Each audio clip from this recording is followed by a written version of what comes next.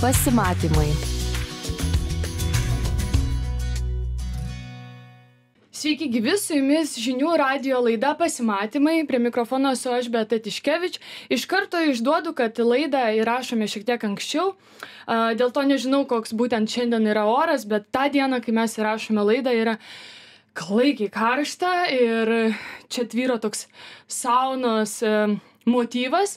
Ir šiandien aš kalbinu žmogų, apie kurį sužinojo visų pirma pasaulis, o tik dabar po truputį sužino Lietuva. E, labai toks atvirkštinis metodas dažniausiai. Lietuvoje nėra taip sunku išgarsėti, bet e, pasaulyje yra daug sunkiau, bet šiam žmogui pavyko visų pirma pasaulyje. Taigi, e, tai yra dainų kuriejas, teksto autorius bei atlikėjas Junior A. Tautvidas, kuris kurio kūrinys Sleep Machine praėjusiais metais buvo įtrauktas į BBC Radio One grojaraštį, juo susidomėjo didieji muzikos produceriai, o, o dabar ir susipažįsta Lietuva. Labas tautvidai. Labą dieną.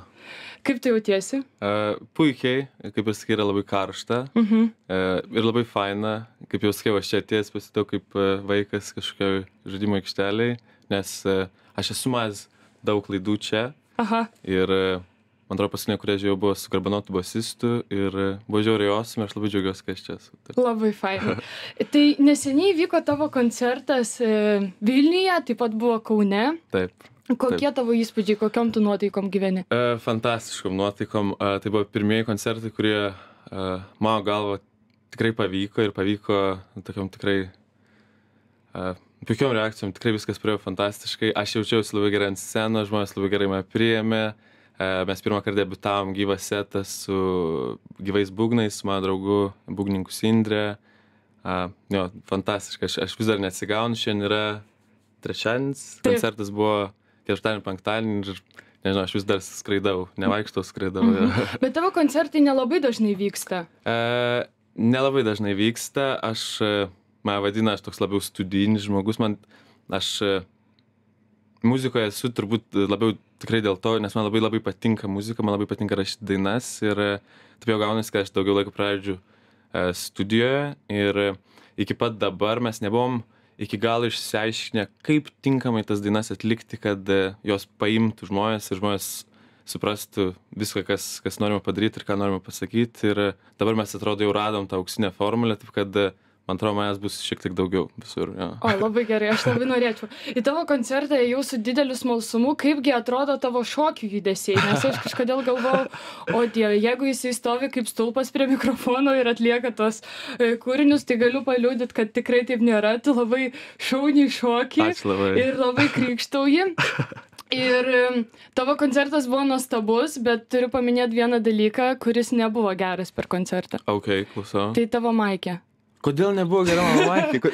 Tiek daug pokalbio apie Maikę aš jau girdėjau. Kodėl, kodėl ta Maikė? Kodėl Tikrai, tokia Maikė? Kodėl ta Maikė? Aš, man kilo klausimas ir aš kokias kelias dainas tikrai galvojau, ar tai buvo tas atvejis, kai tai buvo vienintelė švari Maikė.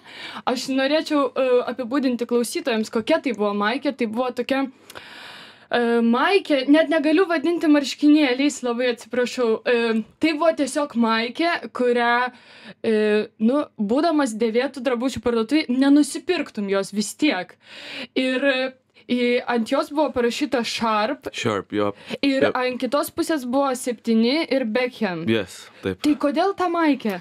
Uh, ok, istorija yra ilga ir, ir nuovadi, aš pasitengsiu viską glaustai. Kažkuria prasme taip, tai turbūt buvo vienintelė švari maikė. tai čia jau tas punchlinas pabaigai. O iš esmės, tai rašydamas savo trečią albumą, aš turėjau tikrai labai tokių didelių, grandiozinių minčių ir, ir kas kart, kai pasakodavau žmonėm, kaip skambės trečias albumas, aš pasakodavau, kad tai turėtų skambėti kaip Los Angeles 2092, bet tai turėtų kažkaip vykti praeitį tuo pat metu ir aš įsivaizdavau stadionus, didžiulės erdves ir kažkodėl e, taip gavosi, kad dauguma dainų turi tokius skanduotinus priedainius, taip kad buvo kažkokia saš, sąšauka su, su sportu. Ir sportu, kuris vyksta dėliose arenose, tai futbolas buvo kažkokia toks natūralus pasirinkimas. Ir vienu momentu aš tiesiog, kaip tu ir sakei, dėvėtų drabužių parduotuvėje, tiesiog tai vyko vienam tinklalapį, kuriame galime sakyti dėvėtų rūbą, aš prisipirkau labai daug dėvėtų futbolo marškinėlių ir e, šiaip tą dieną aš buvau su, man atrodo, Kroatijos rinktinės marškinėliais futbolo, bet mūsų soundcheckas užtruko labai ilgai, taip kad aš jau buvau labai šlapias ir sugebėjau tiesiog pėštis pareiti namo ir pasirinkti kitą maikę ir Bechemas atrodo kaip labai teisingas pasirinkimas. Bet gerai vis dėlto, kad pasirinkai būtent tą rūbą, nes jisai, nežinau, įstrigo atminti. Aš iki šiol. Kalba, aš nenustebau, iš viso to, kas vyko, tikrai buvo magiškas vakaras, buvo e, fantastiška atmosfera ir koncertas tikrai atrodo iš tos muzikinės pusės praėjo visai neblogai. Bet vat Maikė yra tas dalykas, apie kurį žmonės kalba labiausiai. Taip kad turbūt jo viskas. Bet gerai. E, galvoju, kad čia ir yra labai gražus aspektas, nes uh, atlikėjai, aš ten kartais pažiūriu X faktorių kokį nors ir man labiausiai patinka atlikėjai, kai jie ateina pačioje pradžioje su savo drabužiais, o vėliau prie jų jau ten prisideda stilistai, grimas ir taip toliau visas įvaizdis ir atrodo, kad jie praranda kažką labai svarbaus. Tai ar tu planuoji? Ne. Aš ketinu likti su Maikėm iš dėvėtų parduotuvių, jeigu aš taip jausiuosi, aš žmonės taip mane ir matys. Uh, ne, aš nežinau, kažkokios baisiai didelės gilios minties už to tikrai nėra ir man taip norėt, norėčiau papasakoti nors baisiai dramatišką istoriją, nes Bechemas vaikystė, ne, ne, aš niekada neturėjau didelio sužavėjimo Bechemui, tiesiog uh, kaip, ir, kaip ir ant scenos, jeigu tu atsimė, aš uh, pradžioje tikrai aš jaučiausi galbūt drovesnis, po to viskas įbėgė ir aš ne, neturiu gėdos ar baimės ar kažkokio, kažkokios keistos arogancijos pasakyti, kad A, dabar aš jaučiuosi. Aš, viskas vyksta labai organiškai ir natūraliai, lygiai taip pat ir su tais rūbais ir muzika, man atrodo. Mm -hmm. Taip kad, jo. Kaip įžangoje minėjau, kad tave iš pradžių apie tave sužinojo pasaulis, vėliau po truputį pradėjo krepždėti Lietuva. Kaip tu pats jautėsi, kad atrodo, juk iš pradžių turėtų sužinoti apie tave tavo šalis, bet pasirodo buvo daug lengviau pasiekti tą dėmesį kitur, mm. o vėliau jis ateina po truputį čia, nes Lietuvoje tu dar vis dar esi toksai alternatyva. Aš manau, kad aš esu alternatyva. Aš manau, aš liksiu alternatyva kažkuria prasme. Tiesiog, kad e, kažkaip rodos įprasta, kad Lietuva alternatyva turi būti kažkaip, e, aš žinau, kad e, priešdėlis da yra rusiškas, bet kažkaip rodos geriau, kad nedadaryta. Alternatyva Lietuvoje dažnai reiškia, kad nedadaryta. O man atrodo, e, Junior A ir, ir yra tikrai jau nemažai tokių atlikėjų ir kuriejų, kurie E, yra alternatyva, bet viskas ten jau dadaryta ir viskas blizga kažkuria prasme ir viskas tvarkoja. Tiesiog galbūt nepataiko į tą industrijos standartą.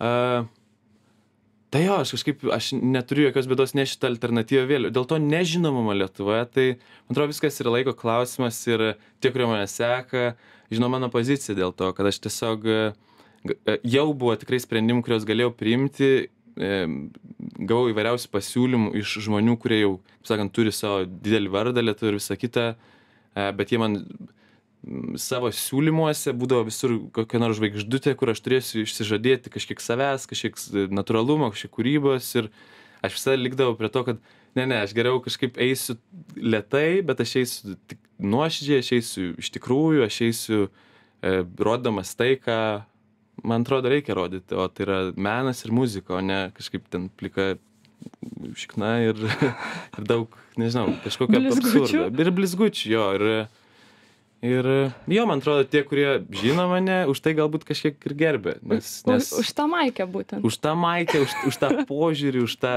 už tą, nežinau, norą likti aš noriu augti, aš noriu, aš noriu, aš jau sakiau, aš noriu šimto milijonų followerių, aš noriu, kad visa Lietuva žinotų ir, ir tas dainas rėktų kartu su manim.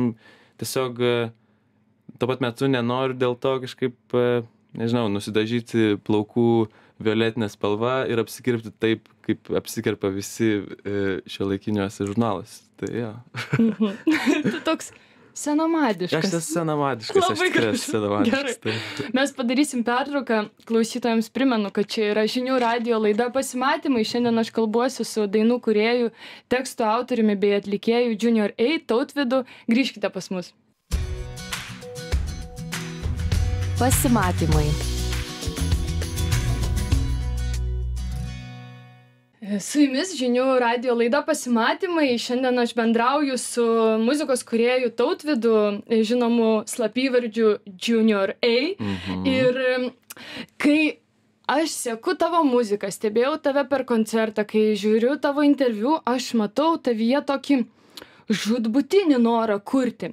Ir tu daugelį interviu paminėjai 2015 m. vasarą, Mm. kai ten kažkas įvyko. Taip. Kas ten įvyko tą vasarą? A, Čia buvo kažkokia prasta vasara. buvo, buvo prast. Kažkuria prasme buvo labai gera vasara, nes po tos vasaros viskas ir prasidėjo. Aš e, e, nelabai noriu plėstis ten, bet esmė, kad buvo įvykis, po kurio aš guliau komoje ir e, pabudęs iš komos, e, Lazdinių ligoniniai, paskambinau savo draugui Martynui, jis mane parsivežė namo ir aš atsėdau dar tada savo namuose Šiaurės miestelį ir tiesiog pradėjau mąstyti apie tai, kaip aš gyvenu gyvenimą ir ką aš darau. Ir e, kad muzika, e, tada man buvo 25, o muziką aš dainas rašau nuo 16 gal ir e, kaip jau minėjau, gal 10 kartų visur, kad mano pirmas albumas turbūt buvo koks 13, tiesiog pirmi 12 mm, taip ir neišvydo dienos šviesos, nes man pačiam atrodo, kad nepakankamai gerai.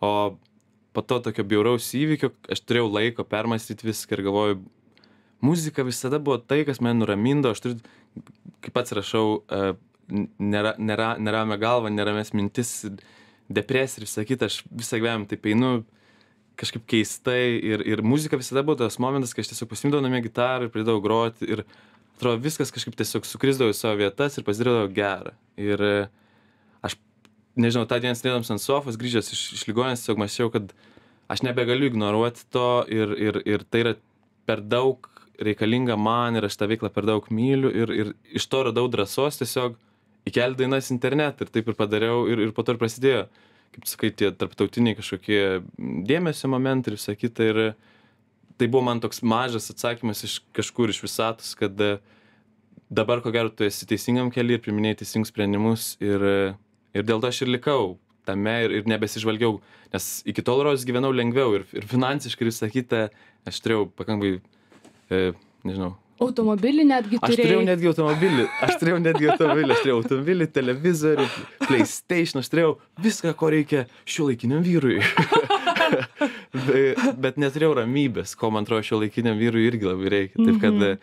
e, aš pardaviau viską, ką turėjau, pasidėjau tokią e, kokštelį pinigų ir taip tiesiog eidavau iki parduotuvės nusipirkti maisto ir tiesiog sėdėjau ir rašiau dainas, dariau tai, ką man be gal patinka daryti. Ir e, O kiek truko ta koma?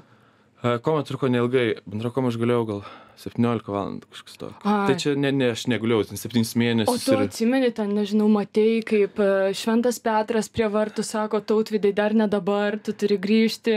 e, ne, Šventą Petrą aš neatsimenu, bet atsimenu, manęs daug kas po to klausė ir sakau, tai yra, ar čia kaip miegas? Nu, ne, ne kaip miegas, nes atrodo, kad tu tiesiog užsimerkiai ten, o pabudai čia ir kažkas sako, praėjo labai daug laiko, a, man buvo plyšusi lūpa, e, aš susimušiu, ten buvo muštynės. Aš, e, aš turėjau, taip tiesiog fiziškai jaučiau daug nu, ne, nemalonumų, nepatogumo dėl tos situacijos. Ir, ir tai irgi prisidėjo prie to, kas, ką, kaip aš vedu savo gyvenimą, kaip aš atsidūriau tok, tokioje vietoje, kaip aš esu dabar. Ir, ir ne, te, tebūnie čia dugnas ir, ir kad ir kaip klišė, bet tegu, tegu aš nuo jo atsispirsiu ir, ir, ir tegu prasideda geri dalykai. Ir kažkur prasme jie ir prasidėjo. Ir, ir tą istoriją aš juos pasakau jau daug kartų ir man pačiam kas kart atrodo, kad e, jeigu yra ta kažkokia sėkmės istorija, kuri buvo organiška ir natūrali ir tuo pačiu ir dramatiška, tai this is the one. Tai, Koma. Koma, ja. O, tie. O gerai, o tu e, dėl savo kūrybos dabar viską darai, tu sakai, pardavai daiktus, a, dažnai, nežinau, tėvai jauniems žmonėms sako, kad baigtų iš kūrybos, tu neišgyvensi, tu gerai, tu gali kurt muziką, bet tik po to, kai tu susirasi normalų darbą. Mm. Ar tu dabar turi kažkokį normalų darbą, ar tu tik esi vabankaini? Vabank. E, man pakankamai pasisekė, nes jau nuo pat mano pirmo išleisto kūrinio, tai Sleep Machine, e, aš laukiu labai daug dėmesio, tarptautinio dėmesio. Mano pirmą albumą išleido London labelas Hard Up, jie atskrido su manim pavakarieniauti ir, ir buvo labai labai daug to tokio e, akivaizdaus supratimo, kad e, tie finansiniai dalykai, jeigu viskas klostys gerai, jie, jie išsispręs patys. Ir kažkuria prasme taip ir buvo. Tik galiausiai, kai mes jau nutraukėm santykius su to labelu, uh, tada buvo toks, okei, okay, ką darom dabar. Uh, aš gaunu šiek tiek pasyvių pinigų iš Spotify perklausų ir sakyti, nes, pažiūrėjau, dabar, da, prieš ateinams dar pasižiūrėjau, aš turiu 45 tūkstančius mėnesinių klausytojų pastoviai Spotify ir e, savo vadybininkui nusinčiau sąrašą, kur manęs klauso. Tai e, Lietuva yra antroje vietoje. Pirmoje vietoje šešis kartus daugiau manęs klaus, klausos Amerikoje. e, tada yra Lietuva ir tada jau eina, nežinau, visa Europa. Tai, tai, tai sugeneruoja kažkokius pinigus, o aš ir pats man sakau, kad kai, kai esi toks apsės savo darbą ir kūrybą, daug nereikia, man reikia tik pavalgyti, stogą virš galvos. Aišku, mano draugai galbūt tai, nes mes, ne, prasme, mes neskrinam atostogų tris kart per metus šiuo metu gyvenime ir, ir tai nėra labai galbūt smagu, bet e, ačiū Dievui, kad jinai supranta mane ir supranta mano misiją ir mano užsidėgymą ir tą mano tokį pasirinktą gyvenimą, man atrodo, per laiką viskas išsispręs. Aš kažkaip per daug nepergyvenu dėl tų dalykų. Aha, gerai. O aš kažkaip nujaučiu, kad tu tiki kažkuo. Tai kas yra tavo dievai? A, nežinau, gal ir keista. Aš, aš tikiu meilę, aš tikiu, žmonė, aš tikiu žmonėm, labiausiai aš tikiu žmonėm. A, nežinau, nes žmogus gali būti ir, ir, ir toks geras, ir toks mylintis, kad jis tau ir atstos, ir, ir dievą, ir religiją, ir visą kitą. Ir aš tikrai jaučiuosi be galo, kaip anglas sako, blest, kad turiu tikrai e, savo, visais savo draugais, visais, visus žmonės, kuriuos vadinu draugais, aš jais pasitikiu 110. Aš neturiu tokių prašalaičių savo gyvenime. Aš turiu uh, savo draugę Aureliją, uh, kuri mane palaiko visur ir visada ir tai yra fantastiška. Aš turiu, uh, nežinau, saujelį draugų, kuriuos, kuriuos aš be galo myliu ir gerbiu ir, ir jie man, nežinau, turbūt myli ir gerbia mane. Taip kad, uh, aš net pamiršau apie ką klausimą. Kuo aš tikiu? Aš tikiu žmonėm, aš tikiu žmonėm ir, ir žmonių uh, tarpusavio santykius. Bet per koncertą aš matydavau, kad tu kėlė rankas į viršų ir dažnai žiūrėdavai į viršų. Ką tai reiškia? Nežinau, galbūt tuo momentu jau ir, nes tas tikrai, mūsų prieš tai kalbėjom, kad tas koncertas buvo, jis ne tik buvo kažkaip pavykęs, buvo, kaip sako, po kons...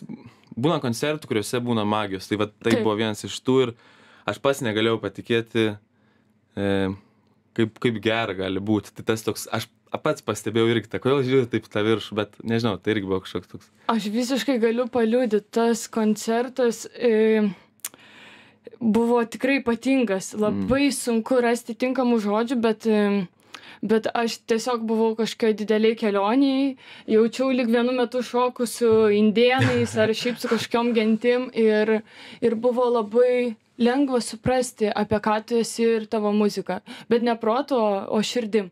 Bet e, tu turi labai didelių tikslų. Ar tu gali juos atskleisti, kokie yra, kur tu eini? Nes aš jaučiu, kad tu taip rauni kažkur į priekį ir, ir ten esi užmetęs tokią didelę meškerę. Bet kas yra tie tavo tikslai? A, aš jų niek... Mano vadybininkas Saulis man liepė juos įvardinti, nes nu, tas... Uh, art of manifestation, kad tiesiog reikia sakyti garsiai, ko nori ir nebijoti to. Aš niekada neturėjau, kaip manęs, ar tu nori groti arenose už ten trijų metų, tikrai taip, ar tu nori groti tarptautinį turą, taip, šimtų procentų. Bet svarbiausia man yra, kad ir po koncerto, aš ką tik išleidau trečią savo EP per 14 mėnesių. Aš išleidau, man atrodo, daugiau muzikos negu bet koks kitas lietuvių atlikėjas per tą trumpą laiką ir, ir tos muzikos klausiu užsienį. Vadinasi, išlaikau ir kažkokią, sakykime, jeigu taip galima pasakyti, kokybės kartelę.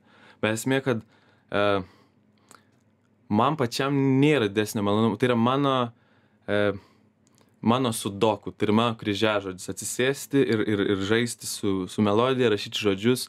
Taip kad mano tikslas man pačiam yra, nežinau, tiesiog kurti, nes aš nuo to, pavyzdžiui, prieš ateidamas čia, aš klausiausi savo ketvirtą albumą, nes aš jį turiu.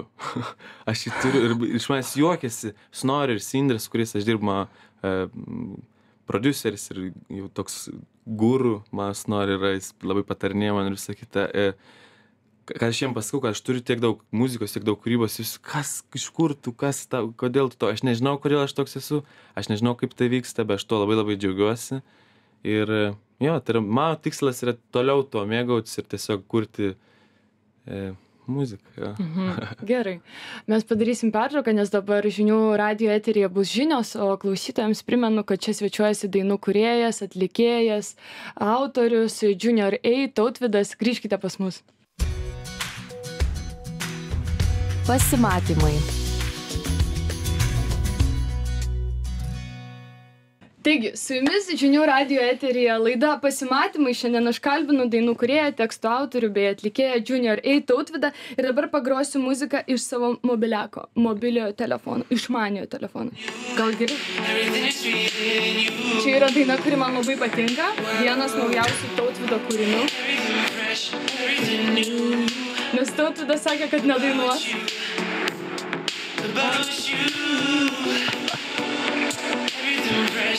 Super. A, Blogai jautėsi. ne, fantastiškai jaučiausi. Gerai. Tai Fantastiškai. klausyk, žiūrėk. Kai yra toks e, atlikėjas, e, kuriejas kaip tu Lietuvoje, kaip e, žmonės esantys Lietuvoje, kuriem patinka tavo muzika, galėtų tau padėti? Visų pirma, nevokti tavo muzikos, o klausytis jos per legalias platformas. Taip. A, jo, bet, ta prasme, tegu ir vagia, viskas tvarko, man atrodo, su to, aš čia, man atrodo, to susikurs labai daug priešų iš kūrybinės visuomenės. Ar jis pasakė Ar vagia? jis, ar jis pasakė, ta prasme, niekas nevagia to, ko nenori, taip? Taip, kad jeigu vagia, vadinasi, nori, tai jau iš esmės yra neblogai. Aišku, tai, kad ten kažkoks centas kitas krenta už perklus yra fantastika, bet vis tiek, pirmiausia, tegu nori. Taip, kad e, toks Eiti į dėmesys. tavo koncertus. Eiti į mano koncertus, Ma, čia yra man neblogai. tiesiog e, įdomu sužinoti, kas yra svarbu e, kuriejui, nes mes vieni kitus galim remti, palaikyti ir padėti. Tai yra mūsų stiprybė. Tai kaip galima paremti arba palaikyti tave? A, galbūt dalinantis tais dalykais, nes a, turint omeny, kad kai atstovauju tą quote on quote tokią alternatyvę sceną, a, neretai atsitrenki kažkokią sieną, kur jau prasideda tie kažkokie industrijos koridoriai, kurie ne visada yra šviesūs ir yra, sakykim, labai daug politikos užkulisiuos ir visą kitą. Ir kartais pats paprasčiausias pavyzdys, kai Sleep Machinas buvo, man atrodo, Sleep Machine, bijau pameluoti, jeigu aš klystu, kas nors tegu pakomentuoja, bet e, iki pat šiol, man atrodo, Sleep Machine yra vienintelė daina iš Lietuvos, kada nors buvusi globaliam, Global Viral Top 50 pasaulio, nu, pasaulio top kažkokiam. E, Amerikoje jinai buvo 13 vietoje, virš visokių Enrique Iglesių, Red Sheeran ir taip toliau. Taip kad mano galva tai yra visai neblogas pasiekimas. Bet kai mes apie tai parašėme spaudos pranešimą ir nusintėme į daug e, portalų, praktiškai niekas nieko neišspausdino. Ir po to aš buvau susitikęs su industrijos žmonėm ir jie pasakė, kad jeigu nori, kad tokius dalykus spausdintų, reikia būti dėžutėje. O būti dėžutėje reiškia būti su jais, o jeigu būti su jais, tai jie tau vadybininkaus ir pasims 50 procentų tavo honorarų ir panašiai.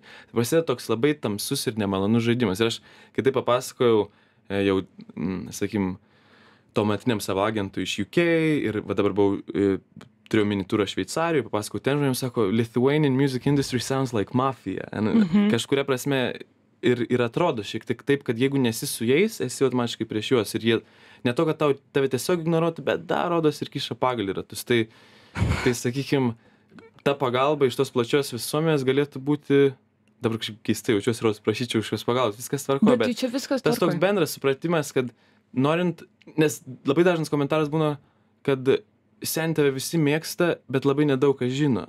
Uh, tai, tai jo, tas dalinimasis, tas klaidas, tas toks natūralus musė.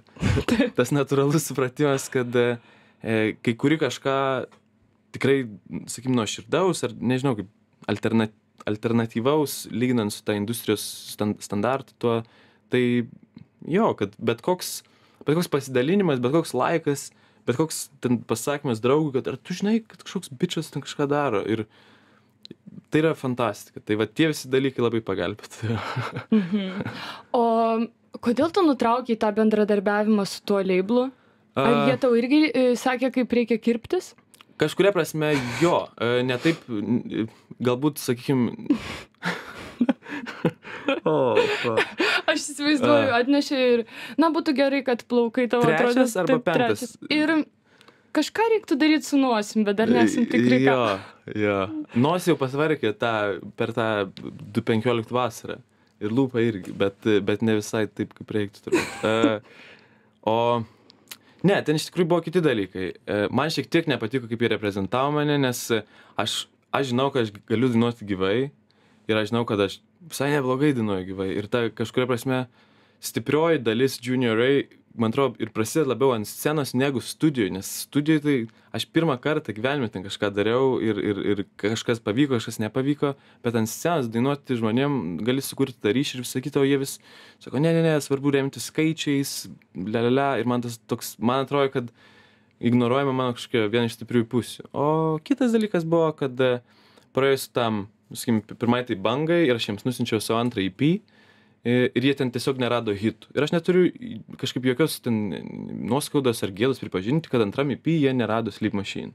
Mhm. Antrą. E, ir, ir pats turiu savo kažkokį priekaištą, nes kai iš pirmo tavo albumo, pirmo, kad nors įdėtų internetą, vieną dieną taip raskrenda, atsiranda toks kažkoks keistas gumulas čia ir tu nori pa pakartoti tą sėkmę ir tai jau iš esmės yra klaida nes kai rašiau pirmąjį pi aš nemąsčiau apie jokią sėkmę ir apie jokią kartelę ir viskas buvo taip natūralu ir lengva o su antru vis dar rodos buvo lengva bet jau ne visai natūralu. Ir aš pats tai jutau ir ir ir aš myliu tą ip jis turi savitą grožį ir ir tikrai ten buvo pasisekusių dainų kurios ten generuoja šimtus tūkstančių perklausų viskas tvarkoj bet slim mašino nėra o tas trečias mano ip dabar kurį išleidau buvo vėl tas toks pat kad tau tai tiesiog mėgaukis viskuo viskas yra gerai ir ir man atrodo tai irgi kažkaip jaučiasi kad viskas šiek tiek pasikeitė aš jau kažkaip nebe nebepergyvenu nebesivaikau kažkokių miego mašinų ir tiesiog mėgaujuos tiesiog toliau Man, pavyzdžiui, flashbacks daug labiau patinka negu sleep machine. Aš irgi taip manau. Aha. Aš irgi, man jis irgi labai patinka. Man atrodo, jis yra žymiai solidesnis kažkuria prasme. Jis turi labai šokinį tokį ritmą ir kas, kas man... Aš noriu, kad žmonės šoktų. Tai man atrodo man tai pavyko ir penktadienį taip rodos ir atrodo kad visi šoka visi šoko tikrai aš kelis kartus kažkam užvožiau per galvą užmyniau ant kojos aš tikiu tikiuosi kad tie žmonės laikosi gerai ir aš jų nesužeidžiau o gal yra komai ir po to pradės rašyt labai neblogas dainas ne, ne. Būtų labai baisu. Man e, kažkas sakė, kad tu labai akcentuoji save ne kaip muzikos kurėja, bet labiau tekstų kurėja. mm. Tai kas tave įkvėpia tiem tekstam? Ir ko, kodėl tu, tu teiki jam labai didelę svarbą? aš teikiu jiems labai didelę svarbą. E, bet ta prasme ne taip e, racionaliai nu, reikia labai gerą tekstą parašyti. Ne.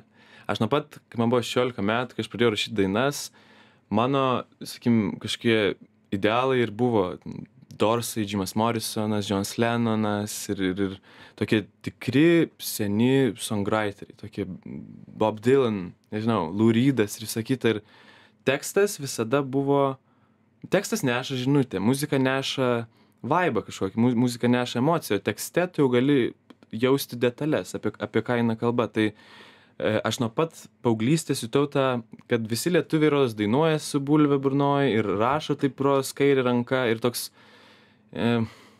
jautėsi kad vėlgi tas rusiškas prie nedadirbta kažkaip ir ir aš visada jutau tą ir nuo tada aš pradėjau skaityti anglišką poeziją O ką, pavyzdžiui, tu skaitei? Jesus Christ e, man atrodo Jėzų Kristų skaitei? Jėzus Kristus skaičiau paskutinė knyga kurią aš atsimenu jau grynai poezijos poezijos kurią skaičiau su tokiu tikslu a Nukopijuoti? nukopijuoti aš perrašinėjau tuos tekstus nes atsimenu hanterio stomsono vieno mano mėgstamiausių rašytojų e, citata buvo kad e, jaunystėje kai jis mokėsi rašyti jis perrašinėjo hemingvėjaus tekstus kad suprastų ką iš tikrųjų reiškia rašyti tokį gerą tekstą. Tai aš atsimenu sėdėdavau su gitara atsivertęs e, pablo neruda e, poeziją ir ir tiesiog rašydavau ir ir tada Charles Bukowski be abejo Walt Whitman man atrodo dabar bijau apsi apsilepsusi nes tai buvo jau senokai. O tai va aš tiesiog labai turėjau tokį didžiulį norą išgyvendint iš savęs tą tokį kaip lietuviai rašo kai rimuoja maybe ir baby ir ir ir būna taip o dieve ne rodos rašo taip kad lietuvoj nieks nesuprastų ką jūs kalbat bet nemąstot apie tai kad anglijoj supranta ir jiems juokinga. Nu tai man tas buvo labai toks aš galvoju jeigu aš niekada to neišgyvendinsiu aš nenoriu leist savo dainų nes bus nepakankamai gerai man pačiam. O po to du tūkstančiai penkioliktų vasaros įvykio atsimenu kaip pirmąkart po to pasiėmiau gitarą ir pradėjau rašyt tekstą ir aš supratau kad aš nebemąstau apie teksto rašymą jis tiesiog gimsta ir sakykim dabar jau re retrospektyva nuo to praėjo e, du metai ir man atrodo jau dabar aš kai žiūriu tą datą ir tai kas įvyko tada man pasirodė kad aš turėjau labai jau nemažą įdirbį bet man reikėjo to kažkokio tokio e emocinio sukrėtimo kad aš turėjau visą visus ingredientus reikėjo, kad kažkas sumiksuotų kokteilį. Ir man atrodo, po tos nakties taip ir gavosi, kad e, visas mano įgūdis rašyti, jis, jis, jis pasileido ir, ir dabar aš tiesiog niekada nebemastau apie tekstą, aš tiesiog rašau. Ir tada pats perskaitau. Ir tu man kaip prašai atsiųsk Dead Friends žodžius, aš tiesiog atsėdau ir o, parašiau, aš, aš praktiškai net nežinau, kur Tu jis užrašei? Jo, aš užrašiau tau ten žinutę. Rašiau ir nusinčiau. Aš pats rašau, kaip fan. Nes aš, aš jų tiesiog, ne to, kad aš jų neatsimenu, bet nebuvo, kad aš sėdėčiau ir galvočiau, kas rimuojasi su Friends.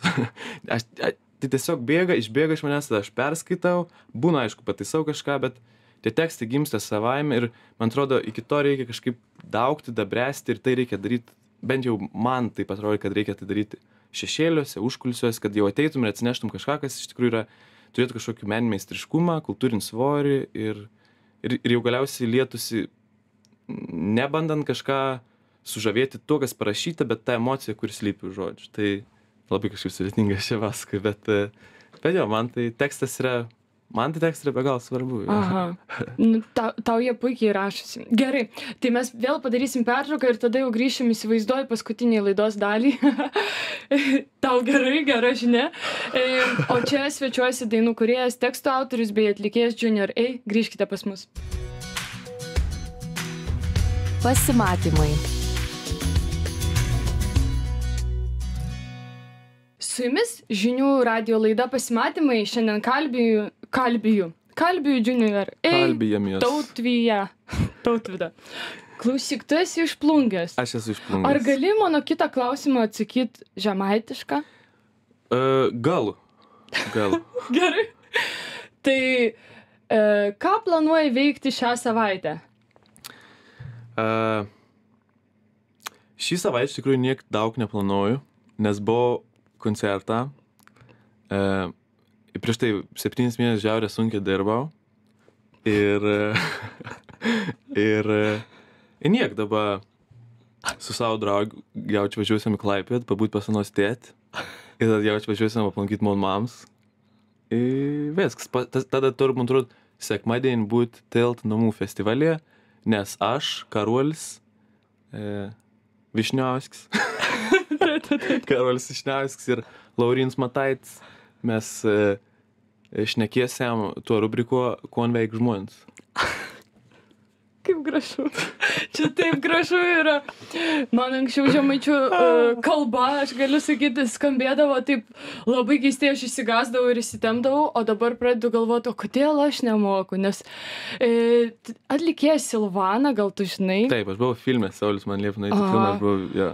Ir, ir tie jo žodžiai, kaip aš kentėjau, baisiai kentėjau. Jo. Nu, tas, jo, ir man fantastika, kaip jinai kalba žemaitiškai, man kažkaip e, atnaujino ir, ir man labai patinka. Tai džiugu, kad mokai dar ir šitą kalbą. Aš moku šitą kalbą, e, ne, man atrodo, aš nesu toks e, tikras, tikras žemaitis, nes mano mama yra, nu, jinai visa, nežinau, jos giminė iš Marijampolės, bet jinai neturi tų Marijampolės, tų tokių, bet jinai literatūriškai visą esame kalbėjo ir mano tėtis žemaitis, žemaitis, e, tai aš toks, toks ne visai tikras žemaitis. O kaip tėvam tavo muzika? E, patinka. Tėtis man skambino vakar, e, nežinau kaip, bet buvo pakeliu į Estiją, dar nesupratau, ar, ar jau kažkur ten, ar vis dar čia, bet sako, buvau degalinė ir grojo flashbacks ir aš sakau, aš degalinės aparatų, sakau, čia mano sunaus daina ir sako, jinai, a, ai nieko, nieko nesvarbu. tai gražu. be abejo, džiaugiasi. Jie žino, kiek man tai buvo svarbu visą gyvenimą, aš visą gyvenimą buvau keistuolis, kuris ten užsidaręs kambarį dainas rašė. Tai dabar, kad tų dainų dar kažkas ir klausosi, be abejo, kad jie džiaugiasi. O tu lankai kažkokią muzikos mokyklą? Ne, ne, aš šiandien dar maudžiausi duše ir galvoju, tu ką nors paklausai apie tai ir galvoju, aš turiu kažką, kažkaip dabar atsakyti. Ir vienintelį dalyką, ką atsiminiau su muzikos mokslais, tai buvo, kai mano mama e, nupirko gitarą, man buvo 16 metų. Ir jis sako, aš nenoriu, kad tai būtų eilinė gitaros pirkimo istorija, kai vaikui nuperkama gitara ir jinai atsiduria ant ten spintos viršaus. Tu privalai į meno mokyklą bent jau išmokti ant tuos akordus. Ir aš atsimenu, aš ėjau į tą meno mokyklą ir visą kelią meldžiausi, galvoju, aš dieve, dieve, aš tikiuosi, kad ten to žmogaus nebus, bus užrakinta ir man nereiks su juo kalbėti, nes aš turiu savyto tokio, aš nesu baisiai toks jau, nežinau, čia daugiau vyksta negu čia jausme. Tinginys? Ne, Ar ne, kas? aš da- toks overmastytojas, toks aš Intravertas? intravertas, jo. Mhm. Ir aš labai meldžiausi, kad ten to žmogaus ne... Ir aš nuėjau ir jo nebuvo ten, to gitaros mokytojo lūžas, man atrodo, pavardė. Ir aš galvoju, yes, yes. Ir aš grįžau namo, man sakau, jo nėra, jis, ko gero jis net nebedirba ten. Ir tu meluoji man, aš sakau, ne, bet aš prisiekiu, kad aš išmoksiu ir aš išmokau. Ir aš manau, kad buvo tokių dienų, kai mano mama galvoja, dieve, dieve, kodėl aš jam tą gitarą nupirkau. Nes nu, tikrai tai nėra turbūt pats lengviausias irklas per gyvenimą ta gitara, nes nu, tikrai su tuo eina ir daug to tokio. Geriau, kad vaikas būtų koks nors teisininkas arba istorikas arba... Taip, o arba man gal svarbiausia, kad žmogus e, turintis e, rankose gitarą nedainuotų petnicos. Man tikrai užtektų to. Taip niekada ir nedainavau. Tai... Aš negaliu pakęst, kai pradeda. Jaki dal. Oh my god. Mhm. Arba Janį pomniu. Tad visas tas. Ir man atrodo, petinis koncertas buvo tą, pa, tą pačią dieną, taip, tuo taip. pat metu. Tai Tai, aš buvau tavo koncerte. Vilnius pasiskirsti į dvi dalis. O tu e, šiame interviu pasakėjai, kad tave daug kas erzina Lietuvos muzikoje. Aš neskaitau. Šiek tiek buvo, buvo to tikrai neslėpkim. O kas tau patinka? Ar yra žmonės, kurie tave įkvepia? Yra be galo. aš- Prašau juos paminėti, nes kitaip bus blogai. Aš, aš jo, man, man kartais net baisu, kad žmonės taip gali pamanyti. Man, kai aš dar gyvenau Londone, aš studijavau Londone žiniasklaidą ir kul- kultūrą, aš atsimenu, skrolinau YouTube ir aš pamačiau kažkokį ba, aha, ir tas pirmas ba klipas ir aš sėdėjau ir, ir mano mintys jau buvo toks, ah, Lietuvoje kažkas vyksta, kaip faina, kaip gera, reikia, kai, pasibaigs čia reikalai, reikia mauti Lietuvą, žiūrėti, kas ten vyksta. Ir, ir va, pažiūrėk, į ba dabar, ba Taip. yra, ir, sakykime, aš visada sakau, kad e, ba paliks tokį, nežinau, randą gerąją prasme arba ten kultūrinį indėlį visai tai Lietuvos vat, kultūrai e, per, per savo turbūt kiek penkis metus groja, kad ten daug žmonių nepadaro per 20 metų. Taip. Absol, man ba yra e, absoliutus ten charizmos, jis gražus kaip velnės toks visas ir, ir dainas labai geras rašo. Man ba yra wow. E, Man irgi. Aha. Ir aš žinau, kad ba nemėgsta manęs. Ir man yra toks, oh, shit, nu kodėl? Bet jis tai? pamėgs, mes jį Viskas priversim. tvarkoja, gerai. aš, aš dėl to ne, neišgyvenu, žinai, kam, kam ba mąsto apie mane, Aha. žinai, savo. Ir Ką- turbūt bendra Ką ba pasakytų apie šitą dainą? ir, trump, ir turbūt bendra tim kokią nors rašo ten dainą apie mane. Mhm. Nes bendra tai labai, nežinau, kodėl tą bendrą taip dažnai naudoja. E, tai va, man pat, labai patinka ba, man labai patinka abudu. Man, Aha. aš buvau abudu koncerte jau labai senai per kažkokį naujų metų vakarėlį. Ir aš asmeniškai žiūrėjau į sceną ir tas bičias, aš nežinau jo to bičio vardo ilgais plaukais. Ir galvoju, tu atrodo kaip jaunas Mikas Džageris. Ir, Ten yra du labai gražus bičiai ilgais Jo, plaukais. Jo, jo, jo. Ir e, tai man jie labai patinka, man labai patinka Garbanas bosistas. Yra e, Alina Orlova. Alina Orlova, yra mano vaikystės, e, aš atsimenu, man atrodo, kažkur pasakau, kad e, sirgau vaikystėje per Žemaitijos televiziją, aš pamačiau Alinos Orlovos pirmą tą koncertą ir galvoju, oh, this is what it's supposed to be. Buvo labai nuostabu. E, Ir tikrai yra fantastiškų dalykų vykstančių Lietuvoje ir, ir yra nuostabių dalykų, kurie vyksta ir apie kuriuos niekas nerašo. Tai va čia dėl, dėl to yra šiek tiek liūdna.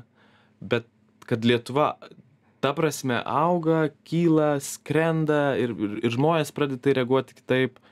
Fantastika, man atrodo, mes esam tokiam didžiuliam pakilime ir, ir mes lėksim ir skrisim ir viskas bus labai gerai. Mhm. Aš irgi to tikiu. Tai o kokie tavo planai yra šiai vasarai? Čia vasarai mes turim uh, visai nemažai koncertų. Uh, aš būsiu Galapagose, Granatose. Dabar derinam, labai jokinga, galbūt kažkam, man tai ne, man visai faina. Uh, galbūt grosim plungė šventė. čia yra toks, aš pasim sakau, tu nori groti plungė šventė, sakau, aš noriu groti plungė šventė. Galėsi pakalbėti žemaitišką. Galės pakalbėti žemaičiais, plungė. Uh, nežinau, nes aš atsimenu save, kai aš pamačiau, nežinau kaip aš atsidūriau ten, bet aš plungės kultūros namuose esu buvęs mokinukių koncerte. Ir tai irgi buvo tiek pat reikšminga, kiek man atrasti Bobą Dylaną ir Rolling Stones. Lygiai taip pat ir mokinukės suvaidino tokį reikšmingą momentą tame, nes aš pirmą kartą mačiau jauną žmogų ant scenos.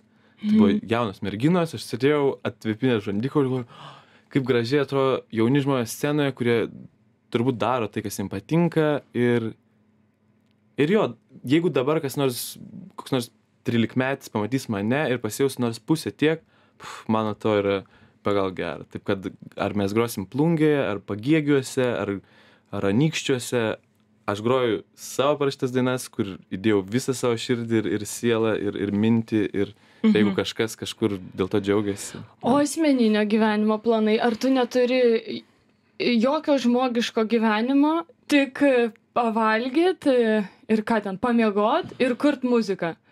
Nežinau, turiu kažkokių tikslų pradėti sportuoti ten, plaukti. Įdegti galiausiai bent veidą. Įdegti yra vienas labai didelis toks šia. Įdegti.